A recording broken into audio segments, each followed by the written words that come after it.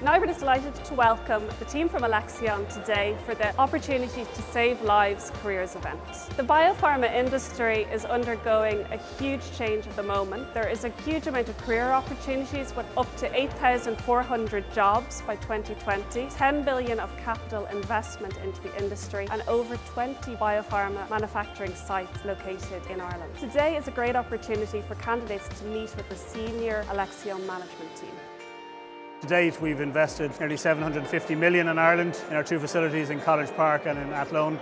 So this year are big years for the, the two facilities. So the type of people that we need, you know, people who have the, the right qualification is obviously important, but people with the right attitude is critically important to Alexion in Ireland. People who are prepared to roll the sleeves up, who can work in a matrix environment, who are agile and flexible, ability to move and do what needs to be done when it needs to get done. We're working with a program with the team here to train people up in, in biotechnology and get them down here on the floor, get their hands on, on the equipment before they come onto site. And we'll work hand in glove with NIBRT here to make that happen and make Alexion successful.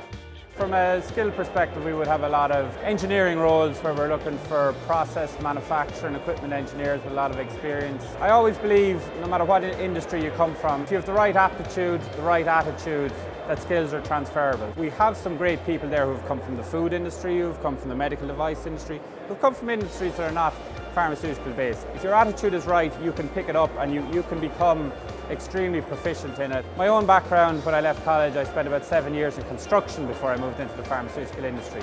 So somebody was willing to take a chance on me and give me that opportunity in the pharmaceutical industry. If you have the right attitude, absolutely we are interested. We've a very large intern program at Alexion. We started three years ago with two people. We moved it to 45 people. Last year to 65 and this year around 55.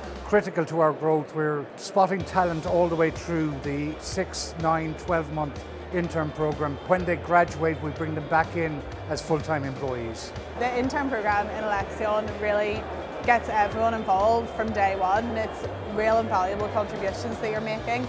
Everyone's so welcoming and inviting. You'll never be left on your own to do something. There'll be a mentor there to help you. As a female in science, you do notice that in the places you work and even in university, there's less women in the environment. With Alexion, definitely I've noticed that there's more women in the workplace than other companies that I've seen. So that's something really refreshing and nice to see. Historically, I suppose to most people, the pharma industry has been perceived very much a, a male-dominant environment.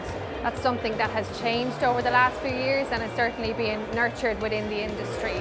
I joined Alexion three years ago and I was based at the Athlone facility, part of the tech transfer team there, bringing in new drug products to the facility. Since then I moved into the quality assurance department in Dublin and have moved on into quality control then. It was a personal preference of mine to follow that career path and it was something that Alexion supported. The biggest reward at Alexion is the patient. We have so few patients compared to big pharma. Because we are ultra rare disease, you go home every night knowing that you've done a tiny piece to help save a patient's life. That's really what kind of appeals to me about Alexion, that even though they are a fairly global company, they're, they're, they're huge all over the world, they do focus on very small groups of people, which is kind of almost honourable.